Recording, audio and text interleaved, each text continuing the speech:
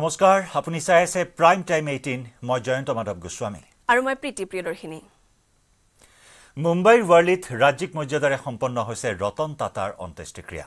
কেন্দ্ৰীয় চৰকাৰৰ হৈ কেন্দ্ৰীয় গৃহমন্ত্ৰী অমিত শ্বাহে ভাগ লৈছে ৰতন টাটাৰ শেষকৃত্যত আনহাতে শেষকৃত্যত উপস্থিত আছে বিশিষ্ট উদ্যোগপতি মুকেশ আম্বানী আৰু নীতা আম্বানী।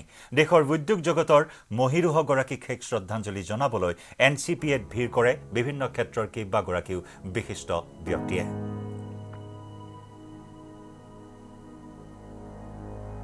ইয়াৰ ৰাজ্যিক মৰ্যাদাৰে শেষকৃত্য সম্পন্ন কৰা দৃশ্য আমি দেখুৱাইছো। অগণন লোকে ভিৰ কৰিছে মহিৰোহগৰাকীৰ এই অন্তিম বিদায়ত। এয়া ৰাজ্যিক মৰ্যাদাৰে শেষ শ্ৰদ্ধাঞ্জলি জ্ঞাপন কৰাৰ দৃশ্য মুহূৰ্ত। ৱাৰ্লিত আজি এনেদৰে ৰাজ্যিক মৰ্যাদাৰে শেষকৃত্য সম্পন্ন হ'ল। ভাৰতৰ উদ্যোগ জগতৰ মহিৰোহ মানৱ দৰদী সমাজ হিতৈষী ৰতন টাটাৰ।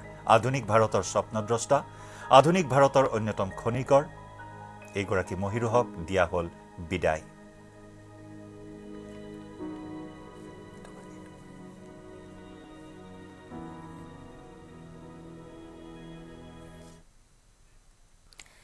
দেশবাসীক সুখ সাগৰত ডুবাই ইহ সংসাৰ ত্যাগ কৰিলে দেশৰ ঔদ্যোগিক খণ্ডৰ মহিৰুহ ৰতন টাটাই।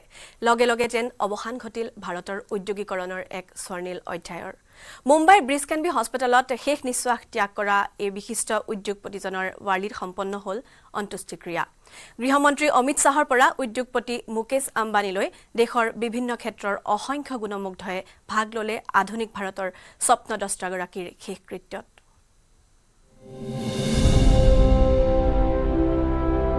thank you for thinking of me মোৰ কথা ভবাৰ বাবে ধন্যবাদ।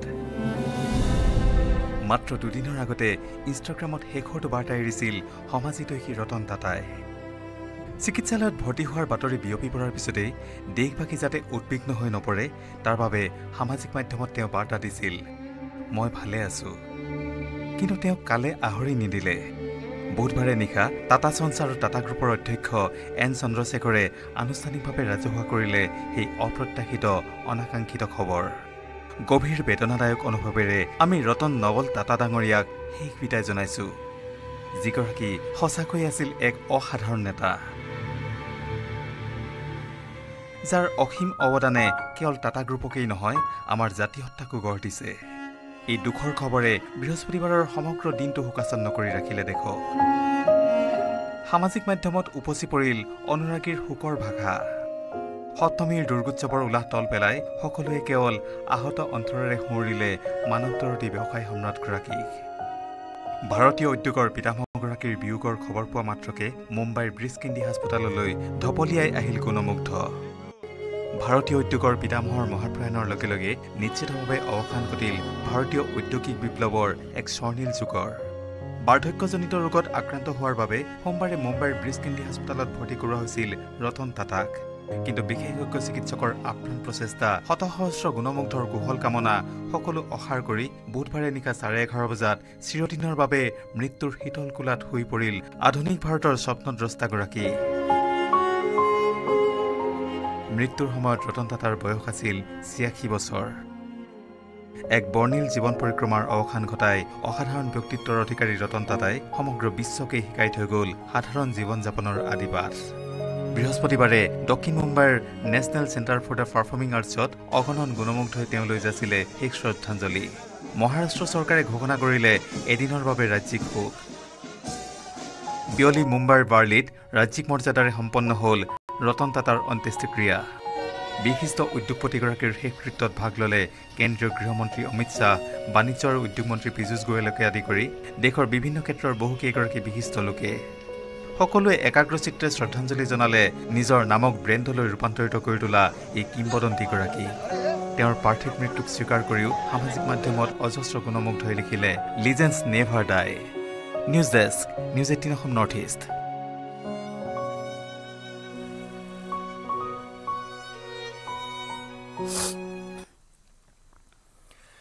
business tycoon Ratan টাটাৰ মৃত্যুত শোকত উঠলি উঠিল দেশ। দেশবাসীৰ বুকুত এক সুকীয়া স্থান দখল কৰা সমাজ হিতৈষী উদ্যোগপতিজনৰ দেহাৱসানৰ খবৰে সেমেকাই তুলিলে দেশবাসীৰ দুচকু। শোকবাৰ্তাৰে ভৰি পৰিল সামাজিক মাধ্যম। প্ৰধানমন্ত্ৰী গৃহমন্ত্ৰীৰ পৰা দেশৰ আন আন উদ্যোগপতিসকলে ৰতন টাটাৰ বক্তব্যক সোঁৱৰি প্ৰকাশ কৰিলে গভীৰ শোক।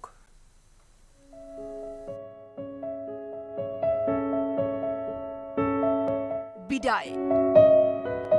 বাণিজ্যিক সাম্ৰাজ্যৰ অধীশ্বৰ। বিজনেছ টাইকুন ৰতন টাটাৰ মৃত্যুত শোকত উঠলি উঠিল দেশ।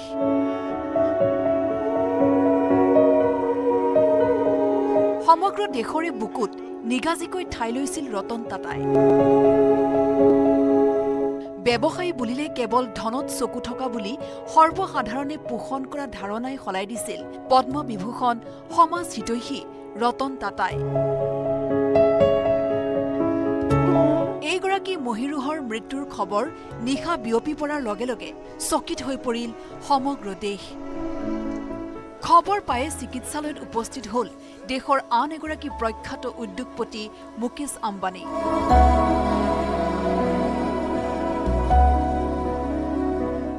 সামাজিক মাধ্যমতো উদ্যোগপতিগৰাকীয়ে লিখিলে ৰতন টাটাৰ প্ৰয়াণৰ দিনটো দেশৰ বাবে এক দুখৰ দিন।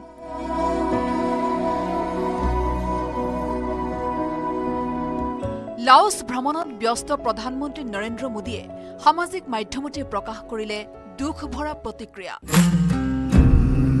ৰতন টাটা এগৰাকী দূৰদৃষ্টি সম্পন্ন বাণিজ্য পথিকৃ এক উদাৰ আত্মাৰ গৰাকী। এক অসাধাৰণ মানৱ ব্যক্তিত্ব। সমাজক আগুৱাই নিবৰ বাবে তেওঁ কৰা প্ৰচেষ্টাক কৃতজ্ঞতাৰে সোঁৱৰিলে প্ৰধানমন্ত্ৰীয়ে। পুঁজি শিল্পৰ লগতে জাতি নিৰ্মাণত অৰিহণা যোগোৱা ৰতন টাটাৰ বিয়োগত সামাজিক মাধ্যমত শোক প্ৰকাশ কৰিলে ৰাষ্ট্ৰপতি দ্ৰৌপদী মুৰ্মুৱেও। আনহাতে ৰতন টাটাৰ মৃত্যুত শোক প্ৰকাশ কৰিলে কেন্দ্ৰীয় মন্ত্ৰী সৰ্বানন্দ সোণোৱালেও। ৰতন টাটা এগৰাকী আধুনিক ভাৰত নিৰ্মাণৰ ক্ষেত্ৰত অন্যতম উদ্যোক্তা আছিল। আৰু অত্যন্ত তেখেতে নিষ্ঠাৰে উদ্যোগ প্ৰতিষ্ঠা কৰি দেশ সেৱা কামত আত্মনিয়োগ কৰিছিল আৰু সেইকাৰণে তেখেতৰ যিটো সুনাম কেৱল ভাৰতবৰ্ষৰ ভিতৰতে আবদ্ধ নহয় বিশ্বৰ বুকুত টাটা বুলি ক'লে সকলোৱে মৰ্যাদা সহকাৰে স্মৰণ কৰে আৰু মৰ্যাদা সহকাৰে এই নামটো লয়। টাটাৰ বিয়োগত শোক প্ৰকাশ কৰিছে অসমৰ মুখ্যমন্ত্ৰী হিমন্ত বিশ্ব শৰ্মায়ো। সামাজিক মাধ্যমযোগে শোক প্ৰকাশ কৰি মুখ্যমন্ত্ৰী লিখিলে অসমৰ মানুহে এজন ডাঙৰ সুৰোহিতক হেৰুৱালে। টাটাই অসমৰ জনসাধাৰণৰ হৃদয়ত এক বিশেষ স্থান দখল কৰিছিল। প্ৰখ্যাত উদ্যোগপতি ৰতন টাটাৰ বিয়োগত শোক প্ৰকাশ কৰিছে গুগলে। ভাৰত নিৰ্মাণত প্ৰভূত অৰিহণা আগবঢ়োৱা প্ৰখ্যাত উদ্যোগপতিগৰাকীৰ দেহাৱসানত সামাজিক মাধ্যমযোগে গভীৰ শোক প্ৰকাশ কৰিছে। গুগলৰ চি ই অ' সুন্দৰ পিচাই কেৰালাৰ উন্নয়নৰ প্ৰতি তেখেতৰ অৱদান সদায় স্মৰণীয় হৈ থাকিব বুলি সামাজিক মাধ্যমত লিখিলে কেৰালাৰ মুখ্যমন্ত্ৰী পিনাৰায়ী বিজয়নে। ৰতন টাটাৰ মৃত্যুত শোক প্ৰকাশ কৰি নেপালৰ প্ৰধানমন্ত্ৰী কে পি শৰ্মা অলিয়ে কলে দেশৰ বাবে ৰতন টাটাই যি অৱদান আগবঢ়াইছে সেয়া অতুলনীয়। প্ৰখ্যাত উদ্যোগপতি ৰতন টাটাৰ মৃত্যুত ৰতন টাটাৰ পৰিয়ালবৰ্গ বন্ধু বান্ধৱ তথা ভাৰতৰ জনসাধাৰণলৈ সমবেদনা জনায় আমেৰিকাৰ দূতাবাসে। ৰতন টাটাৰ মৃত্যুত এক্স যোগে গভীৰ শোক প্ৰকাশ কৰিছে। ভাৰতস্থিত আমেৰিকাৰ ৰাষ্ট্ৰদূত এৰিক গাৰ্চেট্ৰিয়েও ভাৰত তথা বিশ্ববাসীয়ে এজন বিশাল হৃদয়ৰ ব্যক্তিক হেৰুৱালে। ৰতন টাটাই দেশৰ সমৃদ্ধি আৰু সমতাৰ ভৱিষ্যত দেখিছিল। তেওঁৰ স্মৃতি আশীৰ্বাদ হওক বুলি মন্তব্য ৰাষ্ট্ৰদূতজনৰ। কেৱল এয়াই নহয় টাটাৰ মৃত্যুত দেশৰ কোটি কোটি লোক তথা অনুৰাগীয়ে সামাজিক মাধ্যমযোগে প্ৰকাশ কৰিলে অন্তৰ ভৰা শোকবাৰ্তা জ্ঞাপন কৰিলে শ্ৰদ্ধাঞ্জলি। News desk report news eighteen Assam North East.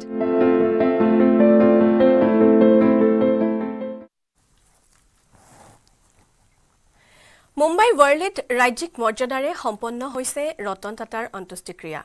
কেন্দ্ৰীয় চৰকাৰৰ হৈ কেন্দ্ৰীয় গৃহমন্ত্ৰী অমিত শ্বাহে ভাগ লৈছে ৰতন টাটাৰ শেষকৃত্যত আনহাতে শেষকৃত্যত উপস্থিত আছে বিশিষ্ট উদ্যোগপতি মুকেশ আম্বানী নীতা আম্বানীও। দেশৰ উদ্যোগ জগতৰ মহিৰোগৰাকীক শেষ শ্ৰদ্ধাঞ্জলি জনাবলৈ এন চি পিয়েত ভিৰ কৰিছে বিভিন্ন ক্ষেত্ৰৰ কেইবাগৰাকীও বিশিষ্ট ব্যক্তিয়ে।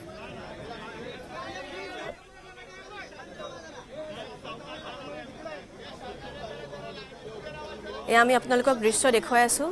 কেনেধৰণে দেশৰ বিভিন্ন প্ৰান্তৰ লোক এইগৰাকী মহিৰোহক শেষকৃত্যত শ্ৰদ্ধাঞ্জলি জনাবৰ বাবে উপস্থিত হৈছে?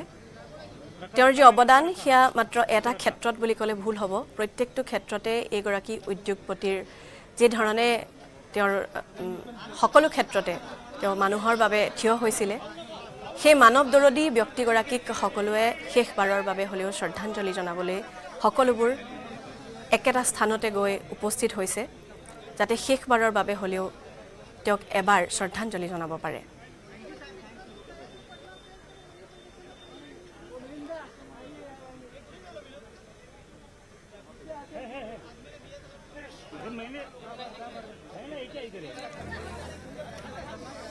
আৰু এয়া আমি দেখুৱাইছোঁ পোনপটীয়া সম্প্ৰচাৰত। অগণন লোকে ভিৰ কৰিছে। আপোন ৰতন টাটা। উদ্যোগ জগতৰ মহিৰোহ ৰতন টাটাক অন্তিম শয়নত এবাৰ চোৱাৰ বাবে তেওঁলোকে শেষ শ্ৰদ্ধাঞ্জলি জনাবৰ বাবে উপস্থিত হয় আৰু ইতিমধ্যেই ৰাজ্যিক মৰ্যাদাৰে শেষকৃত্য সম্পন্ন কৰা হৈছে। বিভিন্ন ক্ষেত্ৰৰ প্ৰতিষ্ঠিত গণ্যমান্য ব্যক্তিৰে ভৰি পৰিল এন চি পিয়ে। তাতে শেষ শ্ৰদ্ধাঞ্জলি জ্ঞাপন কৰাৰ পিছত ৱাৰ্লিত শেষকৃত্য সম্পন্ন কৰা হয় ৰাজ্যিক মৰ্যাদাৰে। এয়া শেষকৃত্যস্থলীৰ পৰা পোনপটীয়া সম্প্ৰচাৰ। অগণন লোকৰ ভিৰ সকলোৱে সমবেত হৈছে। একেলগে চিৰ বিদায় জনালে উদ্যোগ জগতৰ মহিৰোহগৰাকীক মানৱ দৰদী সমাজ হিতৈষী আধুনিক ভাৰতৰ স্বপ্নদ্ৰষ্টা ৰতন টাটাক জনালে শেষ বিদায়।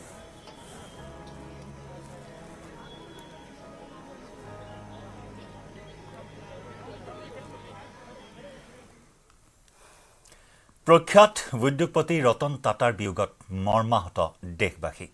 ভাৰতৰ উদ্যোগ জগতৰ অন্যতম মহিৰোহ ৰতন টাটাই শৈশৱৰ পৰাই দেখুৱাইছিল প্ৰতিভা। আমেৰিকাত উচ্চ শিক্ষা গ্ৰহণ কৰা ৰতন টাটাই ভাৰতৰে নহয় বিদেশৰ বহুকেইটা প্ৰখ্যাত প্ৰতিষ্ঠানৰ সভ্য হিচাপে সেৱা আগবঢ়াইছিল। দেশ বিদেশতো ৰতন টাটা আছিল এক নমস্য ব্যক্তি।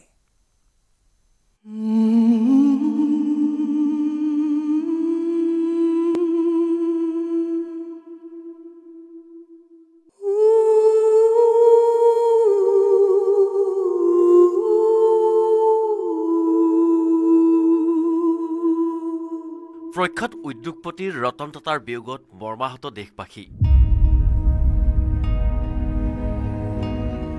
প্ৰতিজন ভাৰতীয়ৰ হৃদয় জয় কৰিবলৈ সক্ষম হোৱা প্ৰিয় ব্যক্তিৰ ৰতন টাটাৰ বিয়োগ অপূৰণীয় ক্ষতি দেশৰ বাবে।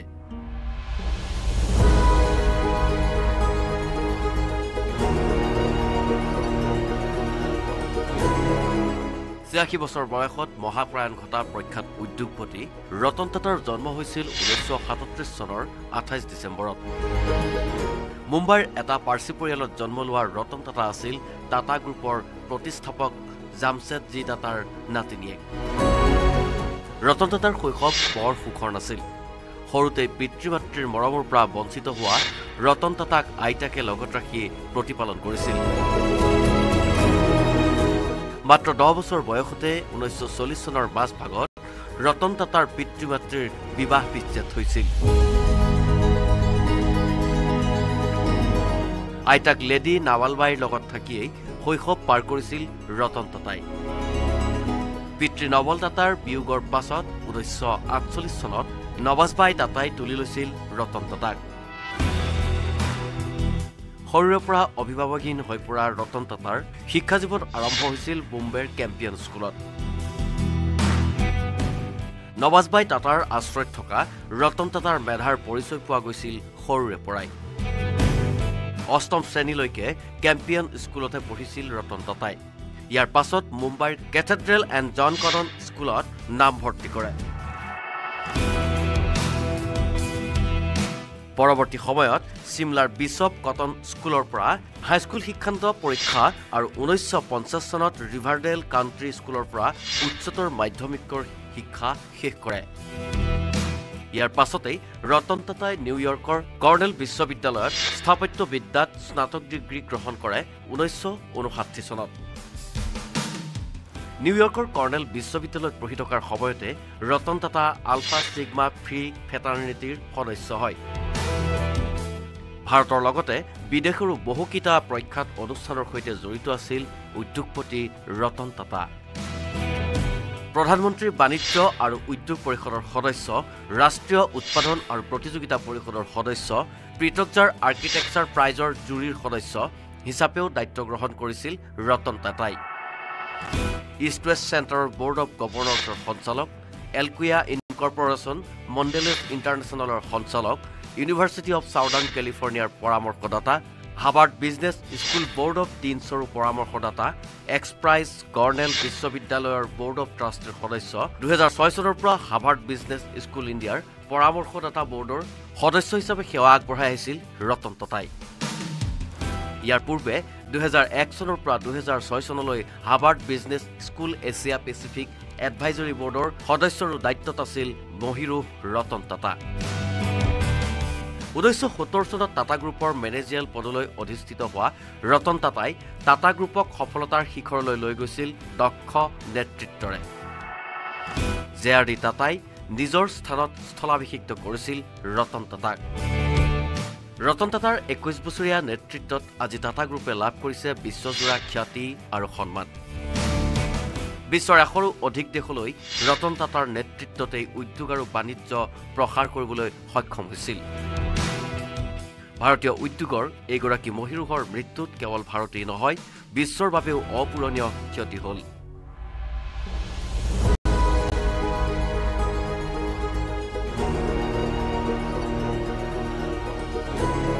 বিশ্বাস সততা আৰু নিয়মানুৱৰ্তিতা মানি চলা উদ্যোগপতি ৰতন টাটাৰ ব্যক্তিত্ব আছিল হিমালয় সম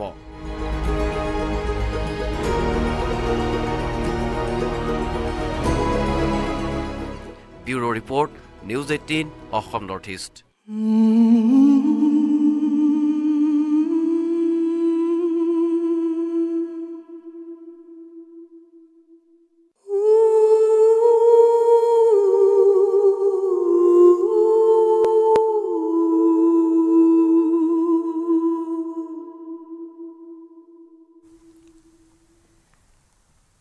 ভাৰতীয় উদ্যোগৰ পিতামহ সমাজ হিতৈষী ৰতন টাটাৰ বিয়োগত ম্ৰিয়মান দেশবাসী।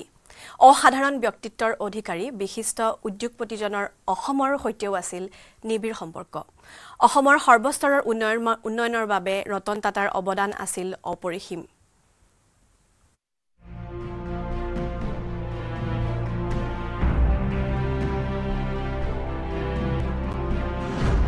আধুনিক ভাৰতৰ স্বপ্নদস্তাৰ চিৰবিদায়। দেশে হেৰুৱালে প্ৰকৃত ৰতন।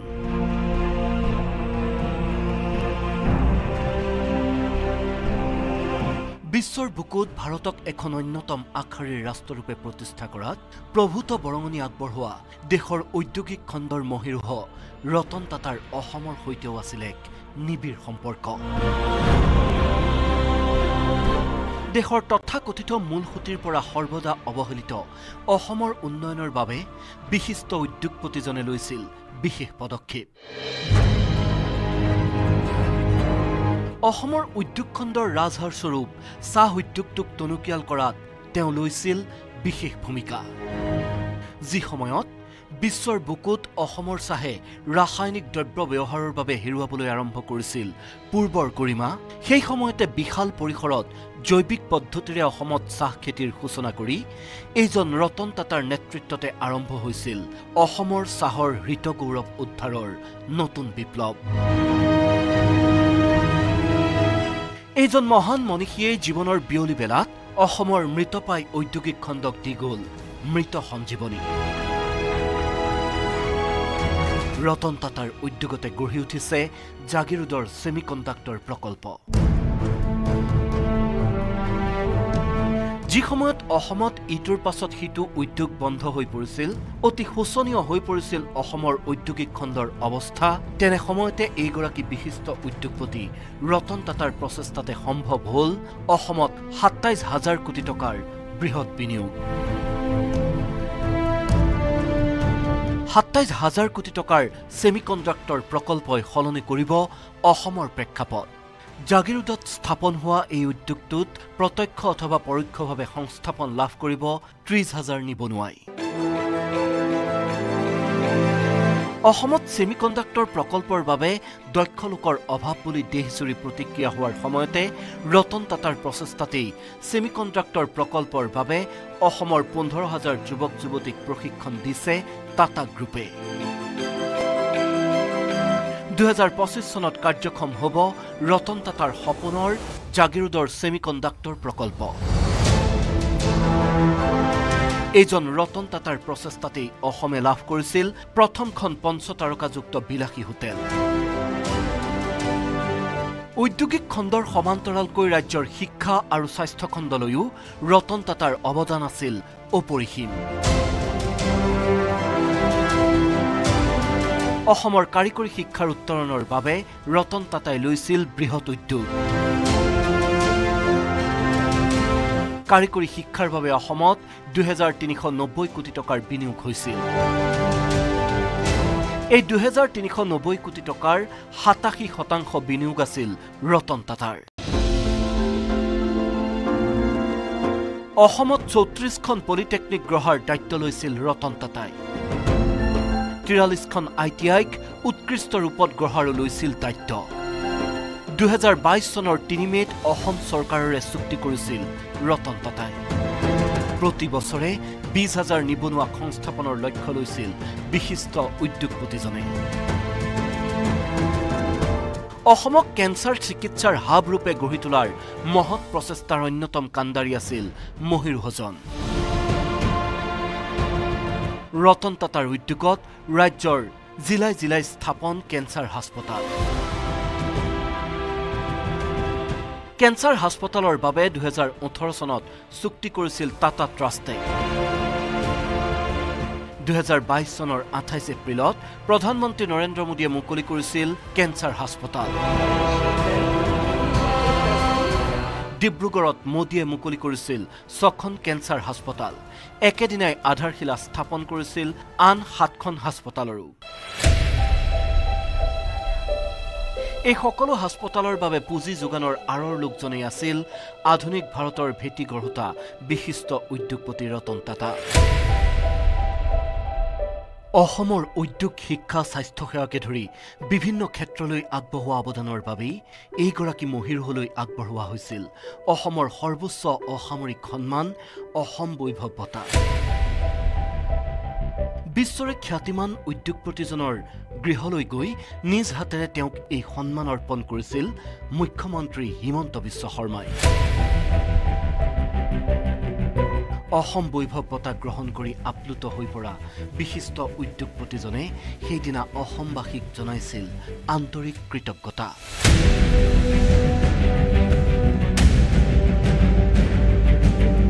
দেশৰ লগতে আধুনিক বিশ্বৰে খোজ মিলাই যাব পৰাকৈ অসমকো শক্তিশালী ৰূপত গঢ়ি তোলাৰ ক্ষেত্ৰত এইজন মনীষীৰ অপৰিসীম অৱদানৰ বাবেই অসমবাসীৰ হৃদয়ত চিৰ নমস্য হৈ ৰ'ব Ratan Naval Tata.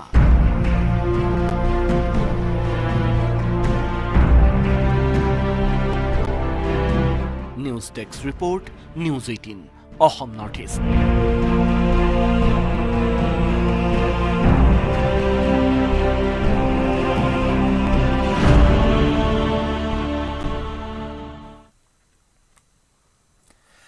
দেশৰ উদ্যোগ খণ্ডতেই সৃষ্টি হ'ল এক মহাশূন্যৰ।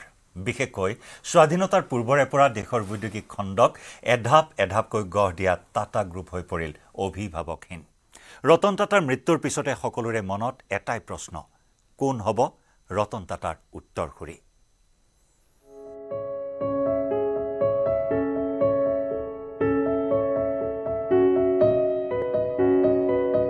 কোন হ'ব টাটা গ্ৰুপৰ উত্তৰাধিকাৰী? কোনে আগবঢ়াই নিব বিশাল টাটা সাম্ৰাজ্য? চৰ্চাত বহুকেইজনৰ নাম। ছয়াশী বছৰ বয়সত বিশিষ্ট উদ্যোগপতি ৰতন টাটাৰ দেহাৱসানৰ পিছতে এতিয়া টাটা গ্ৰুপৰ উত্তৰসূৰী কোন হ'ব তাক লৈ উত্থাপন হৈছে প্ৰশ্ন। কোনো প্ৰত্যক্ষ উত্তৰাধিকাৰী নোহোৱাকৈ নোৱেল টাটা আৰু তেওঁৰ সন্তান মায়া নেভিল আৰু লিয়াই কান্ধ পাতি ল'ব নেকি? টাটা গ্ৰুপৰ দায়িত্ব? টাটা সাম্ৰাজ্যক আগুৱাই নিয়াত গুৰুত্বপূৰ্ণ ভূমিকা পালন কৰিবলৈ সাজু হৈছে কোন? নাম বহুতৰে আহিছে কিন্তু উদ্যোগ ক্ষেত্ৰৰ বিশাল সাম্ৰাজ্য টাটা গ্ৰুপক সন্মুখৰ পৰা নেতৃত্ব দিয়াটো হ'ব যথেষ্ট প্ৰত্যাহ্বানমূলক। কাৰণ প্ৰতিজন ভাৰতীয় ওতঃপ্ৰোতঃভাৱে জড়িত টাটা গ্ৰুপৰ সৈতে। ভাৰতৰ প্ৰতিটো পৰিয়ালৰ ঘৰে ঘৰে প্ৰতিদিনে ব্যৱহৃত হয় টাটা গ্ৰুপৰ সামগ্ৰী যাৰ বাবে পূৰ্বৰ মান অক্ষুণ্ণ ৰাখি টাটা গ্ৰুপক আগুৱাই নিব লাগিব। ৰতন টাটাৰ মৃত্যুৰ লগে লগে উত্তৰাধিকাৰীৰ প্ৰশ্নটো ডাঙৰ হৈ পৰিছে। কাৰণ ৰতন টাটাৰ কোনো নিজা সন্তান নাছিল যাৰ ফলত তিনি হাজাৰ ছশ নিযুত ডলাৰৰ টাটা সাম্ৰাজ্যৰ নেতৃত্ব কোনে ল'ব তাক লৈ জল্পনা কল্পনা আৰম্ভ হৈছে। এন চন্দ্ৰশেখৰন দুহেজাৰ সোতৰ চনৰ পৰা টাটা গ্ৰুপৰ অধ্যক্ষ হৈ আছে। কিন্তু ভৱিষ্যতৰ নেতৃত্বক লৈ আলোচনাও অব্যাহত আছে। টাটা পৰিয়ালৰ কেইবাজনো সদস্যই ব্যৱসায়ত গুৰুত্বপূৰ্ণ ভূমিকা পালন কৰে আৰু উত্তৰাধিকাৰী পৰিকল্পনা চলি আছে।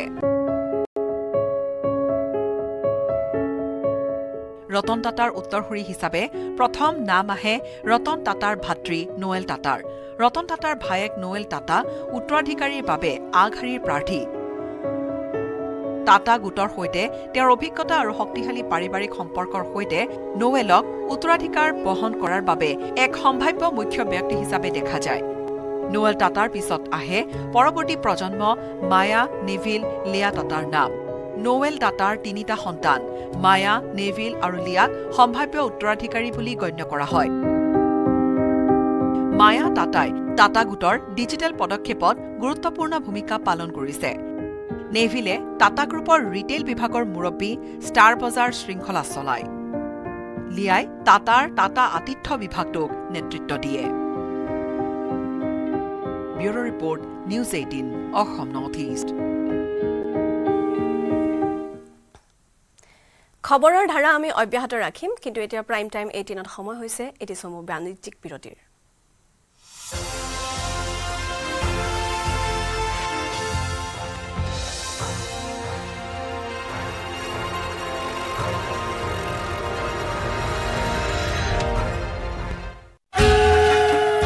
এইবাৰ দুৰ্গা পূজা উপভোগ কৰক নিউজ এইটিনৰ সৈতে।